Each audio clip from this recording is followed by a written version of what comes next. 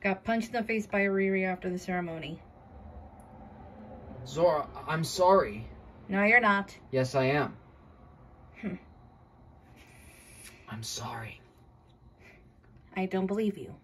I'm really sorry. I still don't believe you. I'm super sorry. Are you seriously trying to make it up to me with kisses? Do you believe me yet? Riku, no.